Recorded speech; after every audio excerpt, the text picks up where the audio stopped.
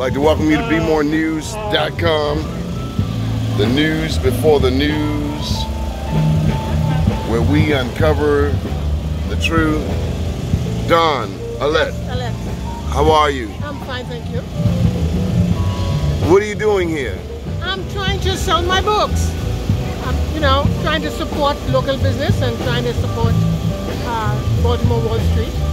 But. Dawn, the hat though, the hat though, Huh? the hat though, You like the hat?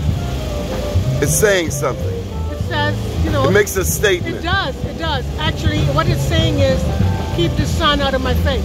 Oh, okay. Mango Samba. Yes. How did you come up with such a title? Oh gosh, it's a long story. It's a long story.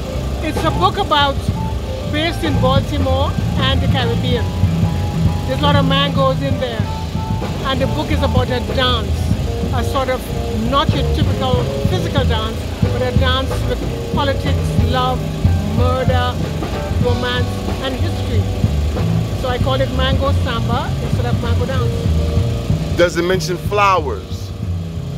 In the book, Yes.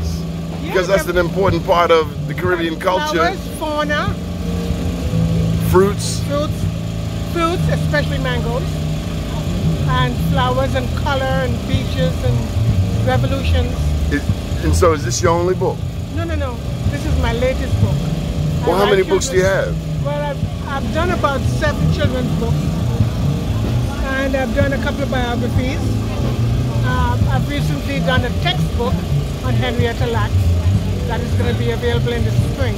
Is it going to be better than the initial book that came out? Yes, every book is better than the last. No, no, no, no. There's another book on Henrietta Lacks and it kind oh, of. oh, this one is geared towards young people. It's a textbook. It's geared towards middle and high school. So I wanted the children to know the story of Henrietta Lacks. And the original book might have been too much for them to, you know. Excellent. Why do you think young people need to know about Henrietta Lacks? Well, especially they need to know the contributions that we made as a people, as black people, the, the wonderful contributions we made. And Henrietta Lacks, although she didn't, you know, make a contribution like we call it, but her cells were used for something important. The HeLa cells. The HeLa cells, of course. And the children need to know that. They need to know that we're an integral part of history and science. Good deal. How can people get in touch with you? How can people support you?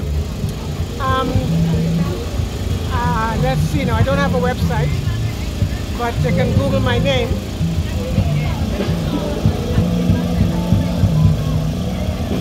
Okay, any final thoughts? Final thoughts.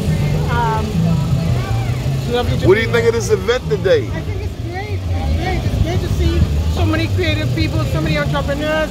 It's a beautiful day. The sun is shining, and it's just lovely to be part of it. Now, what island are you from? I am from Grenada. Oh, I've seen a movie about Grenada, They're the Isle of Spice. but I've heard you have the most beautiful flowers in the world. We do. We have the most beautiful flowers. We have the most beautiful beaches. We have the best food. We have the loveliest people, and we've made a lot of contributions. And I've also heard that you are a planter. A planter. You plant flowers, fruits. Well, why not? Of course. You should come visit. Me love to. No, that's a Jamaican accent. It's the only place I went down there. Wagwan. We appreciate you. Appreciate you. Keep watching BMoreNews.com, the news before the news, where we uncover the truth.